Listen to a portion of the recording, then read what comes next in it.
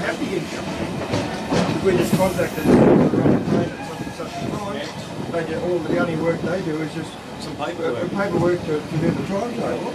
But they don't put extra staff on the platform or anything else for it, so I mean, they're, they're getting money for nothing.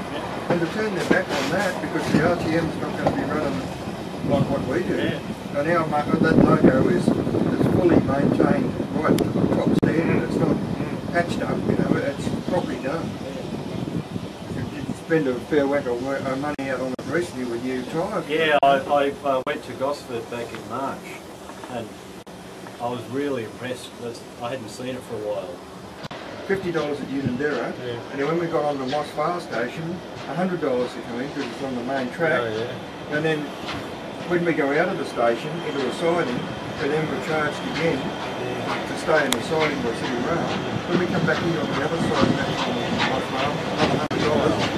You know, and then over the rail access was charging us so much per tonne per kilometre. We were paying pretty much the same as a wet train.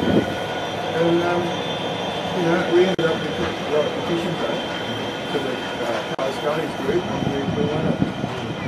But, um, then it was. Uh,